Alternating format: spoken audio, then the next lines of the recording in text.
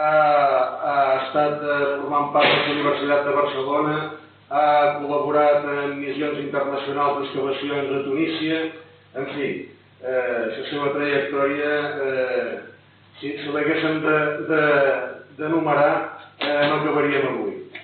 Eh, així que jo li deixo ja la paraula que, que mos parli d'aquestes necròpolis púniques d'Escama i Issa. Moltes gràcies. Gràcies, Benjamí, i bones tardes tots. Jo eh, faig la mateixa pregunta que faig sempre en un cas com aquest. Eh, voleu que parlem en català, en castellà o, o com?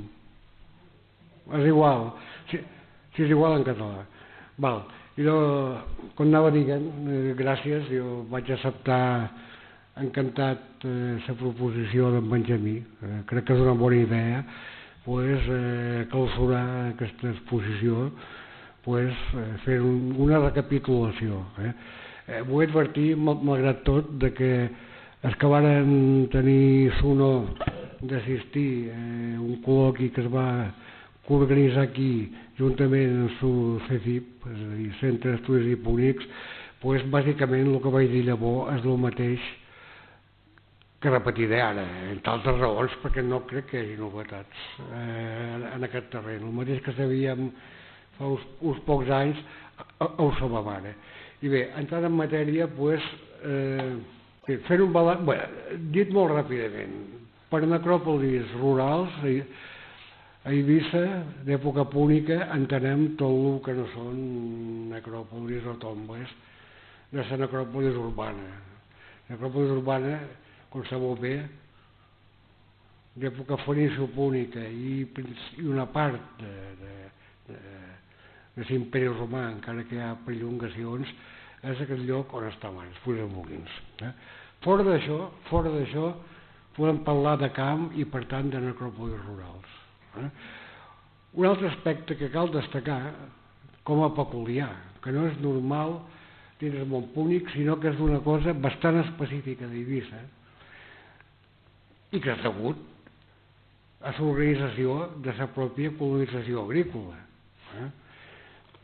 És que hi ha assentaments, és a dir, que funcionarien com, com una vila romana, en certa manera, i salvant les distàncies, però eh, repartits repartits de, de nord a sud i d'est a oest per tota l'illa. I cada un d'ells, eh?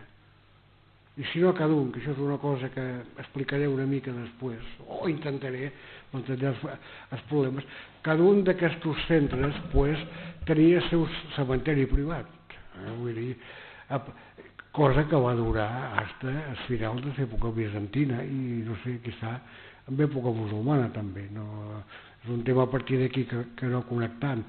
En qualsevol dels casos, en el món cristià això canvia, vull dir, hi ha un, un altre règim d'enterraments. De, Bé, eh, dit això, tinc, que afegir que les eh, necròpolis eh, púniques rurals abusitanes se coneixen, entre cometes, i veurem per què, des de, des de fa molts anys, des de fa més de 100 anys, o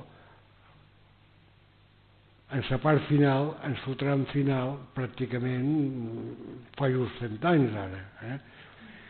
I el seu coneixement va ser obra o producte indirecte de diverses circumstàncies, però sobretot, en primer lloc, no oblidem que estem en una època amb una mentalitat arqueològica, i parlam ara de l'arqueologia oficial, no parlam de l'arqueologia privada, en una època caracteritzada bàsicament per una mentalitat antiquarista. Què vol dir? Eh, una mentalitat antiquarista vol dir que l'objecte en si mateix pues, té una importància molt per dalt inclús el seu significat històric. Actualment, pues, darrere subjecte buscam una història, eh, intentant fabricar una història. No era així en aquell moment. Tenir col·leccions privades, que ja n'hi havia, perquè la llei mm, dava una certa mànega ampla, eh? ja n'hi havia, o formar museus, com els d'Eivissa, pues, era prioritari. Eh? D'aquesta manera, a continuació, pues, encara que hi ha referències, de, hem excavat tantes tombes, una tenia això, l'altra tenia això, eh? el cert, el cert és que els jaciments s'abandonaven, veurem casos, eh? a la seva sort, ja no, la necròpolis de Torn ja no tenia més interès. I sobretot, no només hi ha una manca de context, eh? sinó que hi ha una manca eh, molt grossa de detalls molt importants. Eh? De tota aquesta època no hi ha un punyetero plano ni de, ni de detall per tombes, eh? ni, de, ni de conjunts de tombes. No hi ha cap plano. Eh? No, no es van prendre la molèstia. Eh? No hi ha fotos de materials in situ. Només casos molt especials que criden l'atenció i molt parcials, com veurem, van ser mereixedors d'alguna fotografia. Eh? I luego, un altre de, dels problemes claus és que en aquella època eh, no es feien estudis antropològics. No es feien.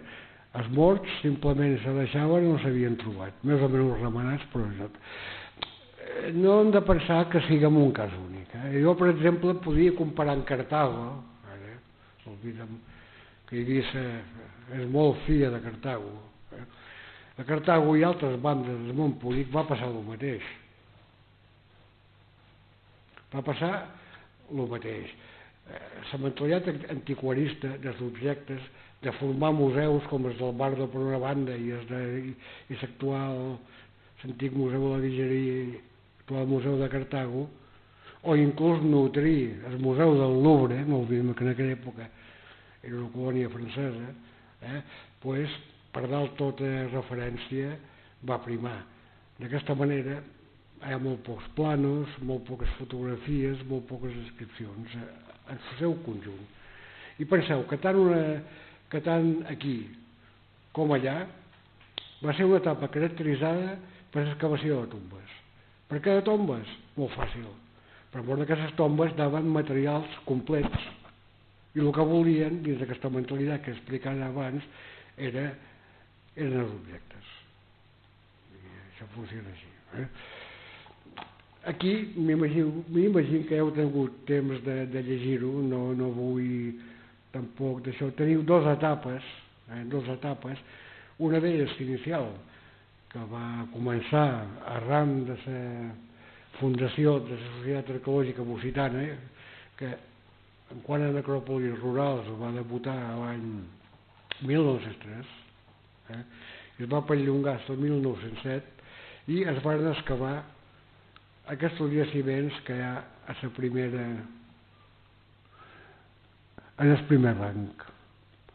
Bàsicament a Sant Agustí, però també a llocs com, com el municipi actualment de Santa Eulàlia, si, si no m'equivoc, la necròpolis de, de les Torres, he afegit el Puig d'en Valls i hauria afegit, crec que se m'ha esborrat, també a Silla Plana, perquè una sospita, o per almenys jo tinc una sospita en quant a Silla Plana, i és que una cisterna en el Puig d'en Valls, un pou a Silla Plana, amb molts d'esquelets de, em pregunto si no té veure o no, el problema és que com que no es va conservar el material ni se sap quina ceràmica ni què hi havia no podem saber mai, és una sospita que no pertanyin enterraments d'època tardopúnica és una hipòtesi que en aquestes hores es mala de, de d'això.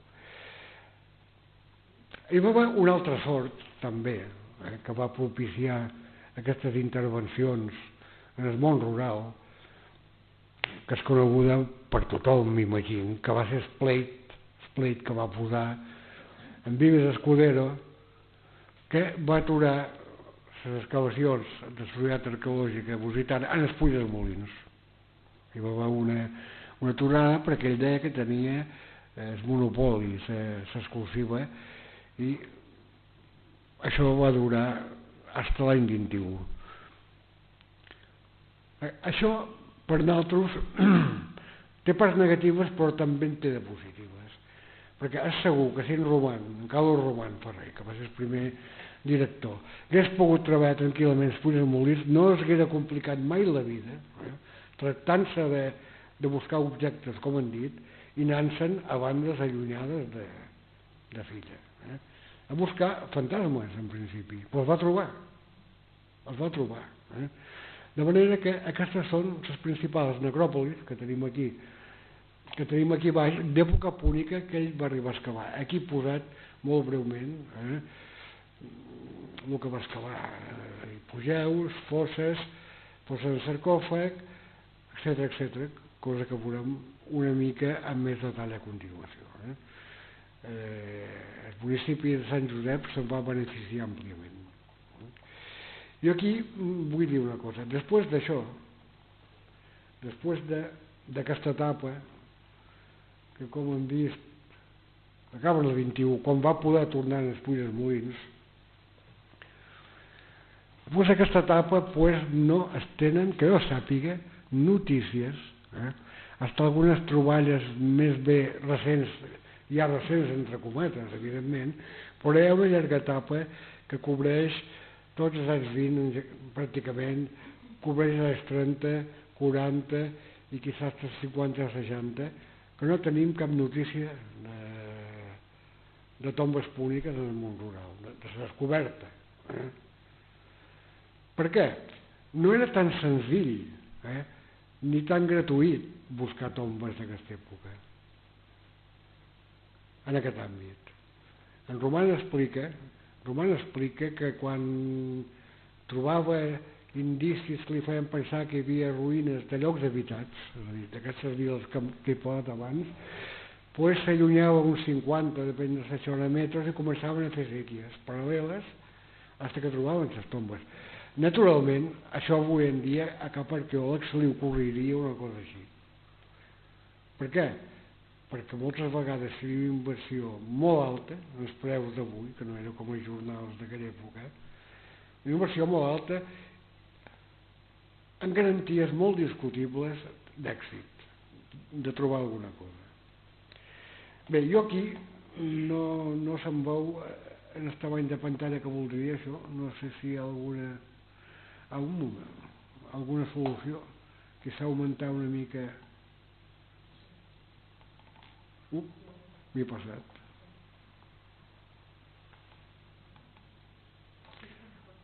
Bueno, és igual. Aquí tenim simplement un plano on situ no només en llocs on va intervenir la societat arqueològica musitana en primer lloc, que estan en blau, eh? sinó també hi ha llocs que va excavar en caldo robant que estan en verd, eh? sinó les troballes posteriors que s'han fet, que com he dit són bastant escasses. Eh? Tenim llocs com Can Pere d'en Ferrer i Camp Marines, que seran objecte de, de conferències específiques demà i, i demà passat altres interessants de, de descoberta més antiga no me'n recordo Benjamí que ja se va descobrir Can, Can Pere o Can Pere català o Can català no? Can Pere finalment no? avançat no?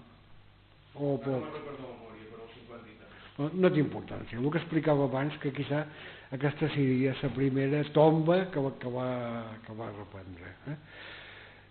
Dir una vegada més que quan vam començar aquesta generació que ja portàvem uns anys i que crec que vàrem dar una mica la volta a la situació, que era una mica desèrtica, eh, hi havia en Jordi Fernández, en Benjamí Costa, el mateix, na Rosa Borrell, l'Ajuntament, uns quants d'aquella època, doncs vàrem desistir pràcticament d'excavar tombes, de buscar tombes. Pensàvem que hi havia moltes dades, incloents les de fulles molins, i sobretot que en llocs habitats, eh, incluïts els urbans, que eren perfectes desconeguts en aquella època, tenien que ser subjectiu prioritari. Eh? I en aquest cas tenim un altre paral·lel idèntic en Cartago, Eh? Cartago no va ser fins l'any 72, si no recordo malament, que en les campanyes internacionals de l'UNESCO, quan se van plantejar, coneixen el lloc habitat, i no només les necròpolis, com vull dir tenim de nou un paral·lel estricte aquesta dinàmica arqueològica de, de casos d'un llocs. Bé, dit, recorda un professor nostre, Miquel Tarradell, que també va ser professor d'en Benjamí, que un estudi global que es va fer eh, l'any 73-74 pues, per raons personals va quedar inèdit fins que l'any 2000 se va publicar per part d'aquest museu. Eh? ja va sortir una mica desfasat, però bueno, més val tard, tard que, que malament. A veure, això és un de, dels llocs que va excavar en Calor Roman. Mm? I té que aquesta imatge és una perquè són polides, són fotos meues de, dels anys 70. Irrepetibles, perquè l'urbanística ho ha invadit quasi tot, no? Una és el jupet d'en de, Givert, on hi ha un important assentament d'aquest morro que domina eh, el torrent de, de Jundal, que antigament feia una entrada molt més considerable, una espècie de port. Eh? I just si passam la següent, doncs a la mateixa posició, lloc de mirar cap a l'esquerra, mirant a la dreta, pues tenim la casa de Cana Jundal. Eh? La casa de Cara Jundala pues, és on ell va excavar una, de, una àrea important. En realitat, la necròpolis de, de Cana Jundala i Can Joanet són la mateixa necròpolis. No, no, no hi ha cap dubte. Això és la casa, vull dir, eh, bastant natural i les imatges que, que, que va en Roman eh, són pràcticament les mateixes. Aquí, quan vaig jo, jo fer aquestes fotos, estaven pràcticament inalterades Eh? Vull dir, tenim que la necròpolis de Can Joanet, tal com ell diu, es troba un terreny inclinat, mentre que la de Can Ajundal, eh, eh, que està just a la dreta de la casa, i hi ha bocins, per aquesta zona molts de fragments de sarcòfag dins, dins, dins la paret, és un pla, i efectivament és pla de Jundal. Eh? I aquí no hi ha cap dubte, no? Si parlam ara una mica de la relació entre centrar això una mica, és que no. Ai, ai, és igual. Va, una primera pregunta. Han dit que corresponien a petits habitatges rurals. A continuació, ve la qüestió. Quina és la relació topogràfica i com funcionen? Tenim dades, però no tantes com voldríem. Eh? Per exemple, aquí, això d'Esplano, aquí hi ha una sèrie de llocs que va intervenir en Carlos Roman, altres que coneixem després, per prospeccions i mil de coses. Jo vaig tenir la sort aquí de que un de, dels amos de Can Úrsul, que era vell, quan el vaig conèixer, i que se'n recordava perquè havia assistit i quasi participat en les excavacions d'en Carles Roman, em va dar tots els trucos i em va explicar bastant bé, perquè vaig anar amb ell allí diverses vegades, a què havia passat, no? Però que va ser necròpolis de Can Úrsul, eh, que tenia uns pocs sarcòfags i eh, dins forces i algunes forces simples i un enterrament col·lectiu. L'habitat se situa clarament eh, a poca distància, eh, un centenar de metres, dins la finca de Can Lluís, però li correspon perfectament. No? Llavors tenim naturalment la calata baix, que, estava, que quan comença a partir de segona meitat del segle V a aparèixer que els habitats i que les necròpolis que s'èpoquen que apareixen, eh, la caleta ja portava molt de temps abandonada completament. No? Sabem que en el peu de, de Jundal eh, hi ha un desplegament important de ceràmica de superfície eh, que fa imaginar que hi ha altres llocs d'habitats, encara que no en tenim cap dada ni sabem quants, eh, i dalt de tot del Puig hi ha una possible talaia o un lloc de vigilància d'època púnica un puig relativament alt. No? Sabem, en el lloc on hi ha escampament actual, que es situa aquí, que hi ha un assentament important que s'abandona al segle, final del segle II abans de Crist, que s'hi ha fet alguna intervenció preventiva. Eh? Sabem que aquí, on hi ha els dos, en, en Carlos Roman va excavar un sector de necròpolis romana de Salt Imperi això és el jupet d'en Givert i això és Cana Jundala i Can Joanet, que es situen aquí, i a tota Saladera aquestes d'aquí. Tenim també Cana Damiana, on ell va excavar algunes tombes, encara que jo sospit que són d'època tarda antiga, no sé si un material nou. I tenim, i tenim clar, per exemple, aquí està clar que Can Úrsol té un hàbitat i té una necròpolis, no massa grossa. Eh? En el lloc de, de, de Can Ajuntala, Can Joanet, que, que, que va junt, la necròpolis és més grossa, hi ha alguna dubte de si va arribar a ser la necròpolis de d'aquests dos assentaments. El que està clar és que s'abandona i una àrea romana apareix aquí, de Salt Imperi, i probablement una base imperial aquí. Hi ha més coses que explicar, però bueno, no em vull... Això, això perquè vegeu la casuística, no? Llavors,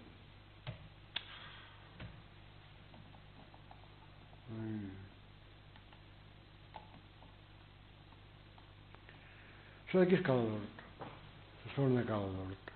Mm? Tenim com a ciment central les païses, les païses de Cala d'Hort, hi ha dos hàbitats i aferrat amb ells la necròpolis, de la qual ja en parlarem. Aquí passa el mateix. Hi ha dos punts d'hàbitat molt clars i dues zones de necròpolis pública, eh? Separats per poca distància. Eh? Un d'ells un cinquantena i l'altre un, un centenar. No? Altre lloc d'hàbitat, altre punt de necròpolis, que encara que està bastant desconeguda, sembla evident que és una acròpolis pública per algunes dades. Bé, això ràpidament són els països de Calador, l'edifici A, l'edifici B, que és mal conegut, però saben que existeix, i dalt la necròpolis, dalt seguint les curves de nivell. En realitat, en realitat no feien massa atenció en quant a altura. Eh? Per què hi ha casos que l'hàbitat està algo més alt que la necròpolis, eh? com podria ser Can Berri en Sergent, que tenim aquí, que és Pujol aquest, vist de la carretera que va de Sant Josep a Cala d'Hort, eh? i altres que és al revés. La Barda està aquí, eh? una necròpolis, el jaciment habitat està més avall. I el mateix passa a les païses de Cala d'Hort. Eh? Tenim un dels edificis habitats, un altre un poc més baix a l'esquerra i la necròpolis que es situa aquí. Eh?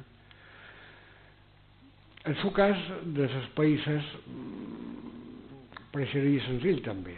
Una necròpolis i un dels llocs d'habitat que no sabem fins a quin punt actuen sempre contemporàniament per raons cronològiques i tenint en compte també la cronologia de les necròpolis que veurem tot a continuació. Ara, els països de Calador ofereixen informacions, però en el mateix temps també posen tota una sèrie de problemes, eh? dels quals intentarem mirar. Val. Per exemple, en els països de Calador, pues, que com he dit, és una de les intervencions que va fer en Calor Roman, concretament l'any 17, no? va deixar algunes imatges que són polides, eh? ell numerava, i per sort numerava en pintura negra bastant, bastant grossa, no? Vull dir, algunes d'aquestes pintures negres s'han, es van conservar fins que van intervenir altres a partir dels anys 80, no? I concretament, això és seu Hipogeu 8, aquest és seu Hipogeu 2, aquí va eh, trobar un sol esquelet, eh? pel vist estava conservat, però no mos diu quins materials hi troba. Com passa quasi sempre, que tenim un problema en el context, en context de les peces en relació amb això. No? Això d'aquí és un tripogeu amb doble sarcòfag, monolític, sempre són sarcòfags monolítics de marès. Eh? Salvat algunes excepcions que veurem també. Simplement vos pas imatges de l'època i això és de quan nosaltres, en els anys 80 i 90, vàrem reintervenir aquí encara que, com he dit abans, la nostra intenció era excavar els habitats que estaven per excavar, pues, naturalment no van perdre l'oportunitat d'intervenir una altra vegada a la necròpolis. Per raons científiques, per una banda. Eh? També per recuperar un monument, si és que es podia recuperar, que no va ser fàcil. Eh? perquè el deterior, el deterior a, a, a, havia estat grossa, no? Això són boques de, de tres dipugeus, un d'ells infantil a l'esquerra, amb una escala rudimentària, i aquí tenim una mica, eh, eh, això com està actualment, no? però aquí tenim alguna mica el nivell de deterior. Aquesta tomba que hem vist en dos sarcòfags, eh, en la foto en roman, és aquesta. Eh? Un de sarcòfags té tota la marca, un el havien rebentat a, a, a bocins, que se'l va rompre, l'altre se'l van endur, que ell diu també que estava, que estava complet tot això. Va deixar baix totes unes marques de madera que segurament eren per encordes pujar-lo i baixar-lo, no? dins, la càmera pugeu. Aquell altre sarcòfag que hem vist, que hem vist complet tot sol, eh? dins la cambra, pues, a dures penes la van poder identificar. Tot el sostre havia desaparegut. Era una cambra molt petita, amb un, amb un buit a mà dreta, eh, alineat en sopou, i sarcòfag que ocupava pràcticament tot el lloc. Però no era una fossa el sarcòfag, era, era un hipogeu tal com es veu en imatge.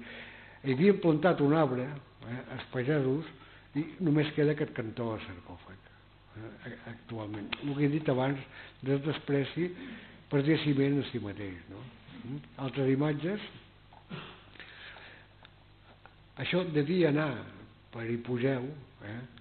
van obrir pou, van obrir escalons, però es veu que perquè efectivament així és, hi ha dos casos d'aquest tipus la roca baix va, ja era dura dalt però encara si va tornar més va acabar, va acabar convertit en força però no tenim ni idea de quina numeració correspon eh, els treballs d'en de, Carlos Roman i això és pràcticament l'únic cas que, que es coneix o almenys que conec jo d'un hipogeu en dos sarcòfags eh, que comparteixen mitjanera construïts amb morter d'argila referits també amb argila eh, i petita pedra de maçoneria. Això és un pla no? també hi ha seccions i coses que, que, que, que no he portat. La cosa és complexa. Només entre els casos hem pogut saber quina és la coincidència entre aquestes tombes i, i la numeració que donen roman, que com he dit no va fer cap pla, va, va, va abandonar la necròpolis. No? Aquí tenim que per sort se conservava totes les traces de, de la planta, si poseu 10 en la seva numeració amb aquests dos sarcòfags, es veu molt clar, això ho dic, que aquest hi poseu, no sé, no, que aquest hi poseu, pues, pues originalment no era més que això amb vosaltres no. Eh? un moment determinat si jo no hagués no hagués pogut entrar amplien així per ficar-me un altre geminat i deixar com a mínim un pas Entonces, si podeu tenen places alternatives igual que passa evidentment en la necròpolis de les fulles mòbils no? fixeu-vos en un altre detall com bona part dels pous estan desplaçats eh? Eh, a la banda dreta de, de la càmera sepulcral aquest, aquest, aquest d'aquí mateix aquests dos d'aquí eh? estan desplaçats més enllà d'això i a part de la important quantitat d'objectes poca cosa podem dir no? si veiem alguna foto veiem aquí que estaven molt junts perquè en Carlos Roman eh, comença a descriure en el primer pugeu eh, això, això i, i hem trobat això i llavors acaba dient que d'estal en estal pues, no diu res de fet no? Una imatge de, de Sant Acròpolis de Canvi Sant Jeroni prop de Calaterida és quizás l'única foto eh, l'única foto que es veu mobiliari funerari in situ eh? que és una fornícula tallada a la paret de si pugeu en tres orinocoes del tipus EBU, són orinocoes de final del segle V abans de Crist. Eh? En aquest cas, És l'únic cas, però li va cridar l'atenció, la finestreta, tots col·locadets, li va, i va fer una foto. Eh? Però de resta mai tenim una sola imatge, i, i, per almenys les necròpolis rurals. I després els molins, poques, crec, que això en Jordi m'ho diria millor, o, o en Benjamí, però, però poques en tot cas. No? Eh? Això és la necròpolis de les Torres, el qual que es va excavar per la Societat Arqueològica Abusitana, hi ha tota una sèrie de materials que van del quart o de finals del quint fins època tardopúnica, inclús en algun cas quizà romana, eh?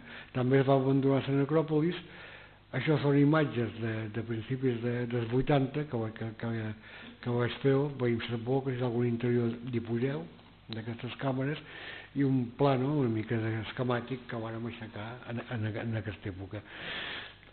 Eh, per tant, ses...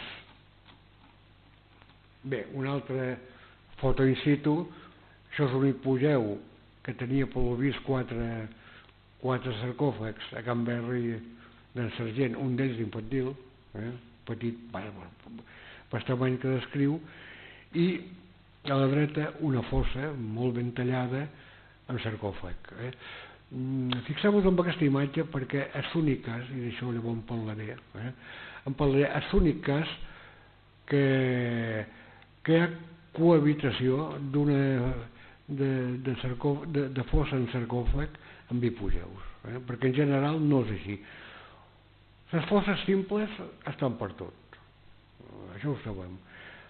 Però si no, o són necròpolis d'hipogeus, és dir, de càmeres subterrànies amb pou més, més o menys vertical d'accés, eh? o són sarcòfags en fossa. Eh? Per què? bueno, parlarem una mica més, encara que és un tema que... És un sarcòfag que vaig excavar jo, si no me'n record malament, a l'any 81, precisament a Sant Necròpolis de Can Joanet i en el terreno inclinat. Eh? Tenia una erosió bastant greu, que es pot veure aquí, a la dreta, eh? precisament per veure que estava en aquest terreny inclinat i la baixada de pedres rodades pues, se'n van d'una part però em va quedar una significativa eh? si varen poder veure aquest, aquest, aquest, eh, aquest sarcòfag aquest, aquesta posa en sarcòfag els peus de l'esqueleto perquè això són els peus com podeu veure aquí pues, es va trobar això és la reconstrucció que em van fer perquè van trobar mitja B64, també una peça de, de final 5, principis del quart, eh? i una base, per més d'una base estava esclafat, que només pot ser d'una inocoid tipus EB1. Eh? Que van, per, per tal com, com, com estava d'això, van deduir que estava una peça de l'altra, encara que no, acaba, no cap dins un de l'altre, evidentment. Era l'aixovar que tenia aquesta cosa, no? Això d'aquí és el dibuix d'un sarcòfag de la necròpolis de Can eh? també monolític, i d'això en parlarem més endavant, una mica veient la seqüència i els canvis terribles de ritual i de mentalitat en els enterraments eh, púnics a partir, a partir de, sobretot de, del segle IV endavant, eh, en relació a el que havia estat el segle V. Bé, quan comencen aquestes necròpolis rurals? Indudablement comencen quan, eh, quan comença aquesta colonització. Eh?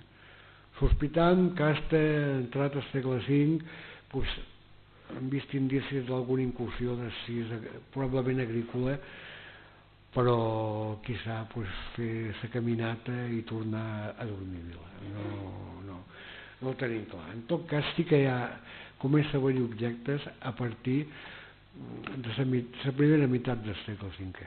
Eh? Eh, són tipus antics, bé, són tipus d'aquesta època. I es concentren sobretot, bueno, n'hi ha algunes en el complex de Cana Jundala, curiosament a Sant Agustí, on hi ha una concentració sempre petita però un poc més grossa, però també a llocs molt excèntrics com, i llunars com, com, com a xerraca. No hi ha dubte que si això, tal com se diu, ve de, de xerraca, això pertany a una necròpolis. Això no, no pot pertànyer mai del món per estat de, de conservació a, a un lloc habitat. No? Ara, continuem. I aquí ja, ja tenim la parafernàlia típica de finals de 5 i eh, primers decennis de... a finals de 5, últim quart de 5 del segle IV. Gerres de B 64 que nana mesquida ha estudiat bé, eh? Oinoco és, EB1, EB2, EB13, altres formes de tamany di diferent, àmfores que normalment són àmfores de, de, de mesura reduïda dins les tombes. No sé, algunes fulles molins, generalment, no sempre, eh? Són reduïdes, no? I elements, elements com aquest, com aquest plat que és molt típic i aquest com. Són tot peces que això ho tenim ben fatxat mm, per nivells i dipòsits trobats fora de necròpolis amb quantitats de materials inclús importats saben que bàsicament són de l'últim terç, últim quart del segle V abans de Crist, tot, tot, tot, totes aquestes formes. També, també, alguna lucerna, i dir, i dir que, per exemple, en el cas de, de, eh, de les fosses eh, tenc alguna dubte perquè no sempre tenim descripció. Però, per exemple, eh, de les fosses en sarcòfag no apareixen lucernes, en general, no apareixen. Camines i bueno, rurals n'apareix alguna, té una explicació, eh? és el sentit d'il·luminar una cambra, practicable cosa que no passa amb una, amb una fossa en sarcòfag, no? Eh? Llavors, també altres casos específics, com els escoi somorfos, eh?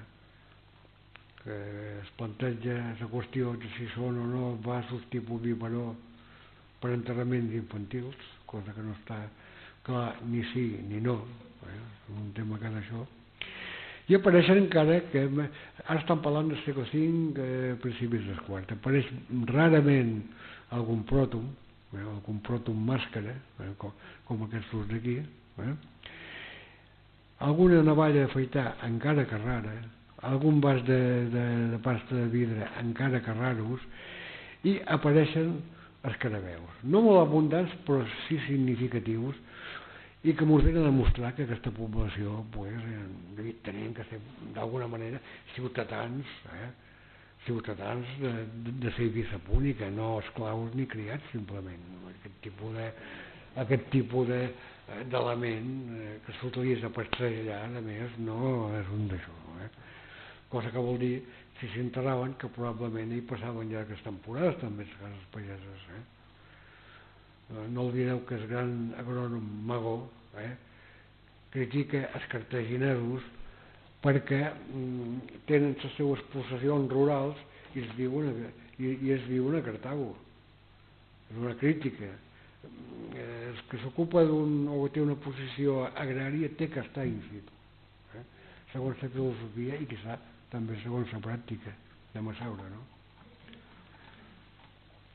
Bé, conjunts d'aquesta època, en aquest cas dels països de Calador, passaré de pressa perquè no hi ha temps. Eh? Lucernes àtiques, que són tan només abundants que són lucernes púniques, eh? eh? un altre d'això, tot això de, de, dels països de Calador, eh? escarabeus, som va, si, si no record, i una cosa que s'esperava molt en roman, perquè el seu, el seu objecte preferit dins la seva mentalitat, com he dit, eh, antiquària, per no dir col·leccionista, de, directament era mm, trobar figures. Se pot trobar molt poques? Molt poques, dos a la barda, aquí a l'esquerra, eh? i una altra, si no s'equivoquen les informacions, que a mi m'imagino que no, a Can Frare Berta, a Can Frare Berta ja més tardant, en un tercer segon com, com a molt. Bé, una visió molt ràpida dels objectes que normalment ja pertanyen al segle III i segon abans de Crist, o inclús, en un cas molt d'això, quizà a principis del segle I abans, eh? que és quan s'abandonen les necròpolis púniques. Data interessant. Eh? I quizà alguna habitat també. Això hauríem de, de comprovar. Això són peces d'aquestes del segle III, dir, estan ben fetxades, segon, segle III també, per tipus estampilles, tipus de vernís. Aquestes dos són d'un segon molt avançat a inicis del primer. Eh? i una olla que rarament se van utilitzar dins les necròpolis púniques, inclús dins les places tardanes. No? Això el mateix, altres objectes eh, d'aquesta època, d'aquest tercer segon, veiem un altre vas de vida, eh, ja, que pertany a aquest moment, i unes plaques que es diuen que, que són o per fer pa o, o per això. No són abundants a les necròpolis rurals. Eh? Inclús jo em pregunto si aquesta d'aquí aquesta d'aquí realment procedeixen d'un ambient funerari perquè en roman, per almenys en escoll de Calador, que és aquest d'aquí, saben que també va remenar per, per llocs d'hàbitat. Això. Algun cas especial. Eh? Ah, la primera pregunta, quan, eh, com funcionava això? És a dir, a cada mort que se li posava. Eh? Tenim poques dades, eh? i tenim poques dades precisament pel que hem parlat abans, eh? per la falta d'atenció, de detall en les excavacions. Eh? Tenim algun cas en els Puig Molins, però que demostren que, que si realment hem de dir aquest mort que té, aquest mort que té, no tenen tampoc tants objectes tenen, una lucerna, algun plat, 64, algun, però en poca quantitat. No? En canvi, en aquest, en aquest eh, hipogeu, que es va descobrir als anys 50 i pico, i que es diu Campera, no Campera, la casa no Campera català, doncs aquí es va, teòricament era un hipogeu que està molt prop d'Escoberam, de santuari d'Escoberam, se va trobar un sol mort, segons se diu, però eh, això va ser una troballa casual, que quan hi van anar en aquella època en, en, en Josep Maria Manyà, si no m'equivoc, supos que havien passat dies i, i anem a saber què, perquè el propietari, no sé si ho ha arribat a lliurar al museu, però tenia peces encara no fa, no fa massa anys, no sé si encara els té o no. no, no. Peces, però estamos en. Bueno, ja, ja arribarà. No, el problema és que no n'hi hagi més que algú que, que no estigui que, que no estiguen controlades en realitat, però és igual, tot i això la primera dada que interessa eh, és saber si realment hi havia un mort només se sap, perquè jo penso, jo penso que és molt de material per un sol mort excepte que sigui una tomba d'algun personatge un tant singular podria ser-ho, per què? no només per la proximitat en el que també s'ha de tenir en compte eh?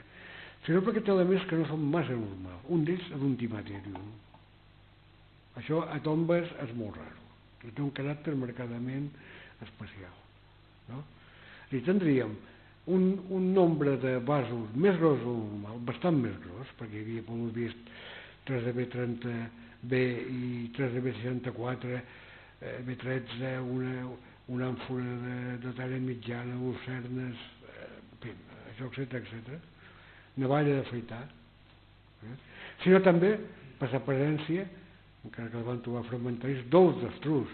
Per almenys les necròpolis rurals, els ous d'estrus pràcticament no existeixen. És dir, són elements que jo, com a mínim, sobretot després del llibre que, que, que, que acaba de publicar i que ha revisat el material ceràmic d'Escoeram, però que efectivament eh, és material també singular al segle V avançat. Jo no m'estranyaria a mi que, que realment sí, que fos un, un personatge lligat a, a, a això. Ho dic objectivament amb dades, eh? no, no... El propietari actual, que quan es va diu no, no, no, si jo no, no, no ho dic, però tot això vendria a, a col·lació d'aquest d'això una mica singular. Eh? Bé, aquesta tomba que va publicar en Jordi i altres col·legues que estan aquí, eh? Que és de Cana Jundala, és peculiar per una punta de llança. Normalment a les tombes, a les tombes abocitanes no hi ha armes, normalment. Eh? Normalment. Aquí n'hi ha una. Però sobretot m'ha cridat l'atenció tota aquesta col·lecció, aquests tres escoisomorfes, eh? que es van trobar fora de, de, de sarcòfag, això, que si no m'equivoc, segons la descripció en roman, hi havia dues gerretes i no sé si una tassa, gerretes petites, hi havia quatre morts en aquest d'això. Com funciona això? Eh? Com funciona? Evidentment, si això fos, si fos un infantil, el més segur és que en Roman no l'hagués vist, perquè de vegades els ossos són minúsculs, no l'hagués vist, si fos un enterrament infantil, per la metodologia. Eh? Llavors tindríem uns esmorts que quizà va rebre les peces, com ens puc, que, que, tenim, saben quina xubara hi ha eh? dins els sarcòfags. Eh? Saben que només hi ha un esquelet, normalment és, és d'això tipus, eh? per una, una fossa en sarcòfag són dos peces, dos contenidors, i normalment es van dels peus. Que aquí a Ripollès passava tres quarts del mateix, encara que aquí la cosa està més mesclada i és més confosa. Clar, singular per aquesta punta de llança i té també aquests, aquests escolsomorfes, no? El mateix, a certa manera, d'aquesta força singular sarcòfag de Can Berri en Sergent, on per una banda hi ha quatre esqueletos, eh? quatre esqueletos, dins el sarcòfag només hi ha aquest com i aquest oinocoe que imita una, una, una forma segurament àtic i que no hi ha dubte que formen un joc per veure, eh? un servei de beguda, eh? i fora, o dins també en els peus, ha aquests dos, aquests dos escoll novament un d'ells amb una inscripció. Clar, aquí una pregunta podia haver enterrament infantils, però que no es va veure, eh? perquè eh, tot, qui més qui menys hem excavat eh, entrenaments infantils amb àmfores. Eh? Hem excavat diversos també aquí davant i, i, i a la clínica. Els trobes, eh? perquè trobes àmfora. I llavors has quedat molt alerta, perquè si no no vols dir ossos. És així. Eh? Clar, això és impensable a l'època d'en Roman encara que sí que, que en alguns casos de Can Ajundal i, i Can Úrsul parla d'àmfores amb boixos amb enterrament, per què? perquè va trobar àmfores si no va haver res evidentment no? bé, agrupacions que va fer en Jordi Fernández aquestes unen dels països de Calador i pugeu tres, que tenim molt poques dades eh?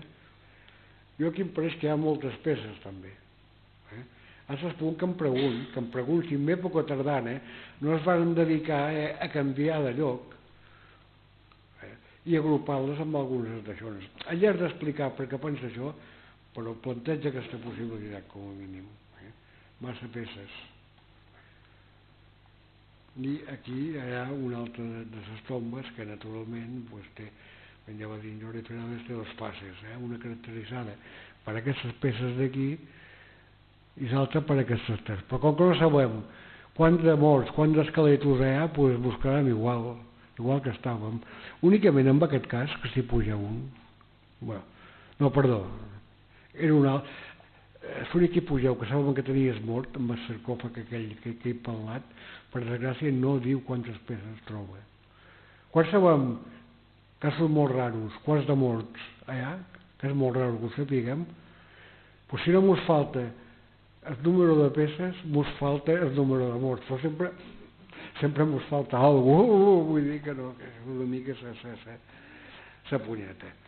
Bé, ràpidament, eh, aquestes tombes, eh, tipus, tipus sarcòfag eh, amb fossa, tipus hipogeu, realment, quan se van concebir en el segle V, eh, estaven inventades i pensades per enterraments individuals, bàsicament.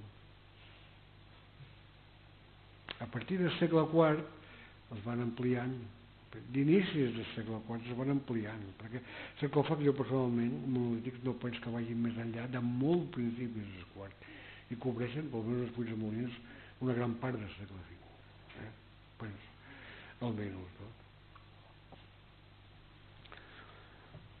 pues, eh, individuals. Però a partir d'aquests inicis del quart, si no època anterior, ja veiem com s'acumulen, per una banda, molts de morts d'una forma una mica apretada, que els sarcòfags que arriben a tenir fins 4 i 5 esqueletos amb espai, amb espais i amb altures i capacitats, eh? de vegades de 45 centímetres, no? que s'hi troben quatre esquelets, com, com algú. Clar, això què vol dir? Que hi ha una seqüència llarga, perquè no pots ficar quatre, quatre morts junts sense cadàver incorrupte, és impossible, superen per tres, marca un lapse. I paral·lelament a això es veu com van desapareguent pràcticament a les joves funeraris. Eh? quan tenim dos gerretes i quatre morts dins un sarcòfag, què vol dir? I no tinc contestar això. Que dos van ser per un quizás primer, però no se'n van per falta d'això. I a partir d'aquí van voler posar junt en l'anterior, la voluntat d'agrupar, eh, un dels canvis importants, eh, però en canvi els, eh, els elements mobles d'acompanyament tendeixen a diluir-se molt. Això ho vam veure clar amb una intervenció que van fer a Can Eloi, eh? el de Can Eloi que vaig dirigir jo. Eh? Van trobar una cavitat raríssima a la vora del torrent, que és qualsevol cosa menys una tomba amb origen, eh? que té aquesta planta. Mm, anirà ràpid perquè no d'això. La van omplir de terra en un segon moment i van enterrar un mort, un vell de bastants d'anys, eh? perfectament això. Anys després el van encobrir de terra, anys després per dalt ell, però mantenint intactes anterior, en van enterrar un altre. Mm? Pensem que en aquesta necròpolis hi havia sarcòfags en fossa, perquè un d'ells el van posar això, m'ho va explicar allà, havia trobat llauran, però és que s'aprofundia, no era un podeu. Eh? I aquesta sarcòfag en, en fossa, aquest sarcòfag quizà havia estat construït cap al 400 o poc abans. Eh? Quizà s'hi havia enterrat, això no ho sabem, però és una deducció a partir de... Quizà s'hi havia enterrat durant un temps dins aquest sarcòfag. I llavors passen aquí, en aquest tipus de tomba. Eh? Encara mantenen, però també sense jugar, els morts intactes. Però és que a partir d'aquí, eh, Has de dalt quizà podia ser del segle tercer, quizà primera meitat, per una peça que pareix que està en contacte amb ella. A partir d'aquí eh, comencen, eh, amplien, fan primer una càmera així i llavors una altra així, que li faltava el sostre. I comencen eh, a enterrar un mort i per enterrar el següent, pic i pala, i després mort aquest, perquè van trobar a totes les capes de queixes potser una cama sencera encara en connexió, però només s'acaba un braç passar a banda, etc etc. Vull dir que hi va haver una seqüència, eh? utilitzant pocs objectes, eh? a, més, a més individus, que n'hi havia de set, eh? un d'ells infantil, i cap cremació. Eh? Allà, allà, amb aquest tipus de tombes, sempre més morts que no, que no objectes d'acompanyament, el qual vull dir que no era obligatori, tampoc col·locar. I, naturalment, això el tipus varen veure com tasses estaven molt gastades en grafits que segurament són les inicials i veiem, per alguna sèrie de qüestions que ara sigui ràpid d'explicar com aquella idea d'una tomba estàndard eh? una tomba que vas a comprar a, a salfareria eh? Vas a comprar a xerrets de companyia nous nous i els col·loques tal qual aposta per aquell mort, com hem vist en alguns casos després de Molís, aquí no. Aquí dona la impressió que són més aviat objectes personals del difunt, que són dues, molt diferents, eh, la mentalitat. I sobretot, l'important, encara que estiguen abucinets, que d'això ja se'n van encarregar ells mateixos, eh, que estiguen junts, i en espais molt petits. Eh. Aquest és canvi de mentalitat que arranca de, que, de poc com ha estat el segle IV sinó abans eh? i s'accentua s'accentua sobretot el tercer i sobretot segon i quizà els inicis del segle I eh? imatges eh? es mort inferior que havien tapat aquesta, aquesta cosa que no sabem a què era realment, però no era una tomba evidentment una de les seqüències que veiem aquí cames i braços eh, completament desplaçats eh? i finalment l'últim mort que és l'únic que van trobar sencer perquè no van enterrar més perquè si no no hauria estat així eh? bé, això és que em portes de jurat eh, era un enterrament que s'ha una sitja eh? que no van poder que també va ser una urgència que eh, ja havia forgat gent Bé, podríem parlar una mica més, també tenia un nombre de morts, de morts importants. Eh? I en, per acabar, pues, aquest mapa d'aquí, que no sé si està prou ampliat, però aquí hi ha una mica la distribució de, per tipus de, de tombes, no? Per tipus de tombes, en el sentit de que ha tenim aquí en el símbol, quan és la tomba col·lectiva d'aquesta classe, com la de Can Eloi, que que hem parlat abans, però també acompanyada, o precedida, més ben dit, de sarcòfags en fosa, eh?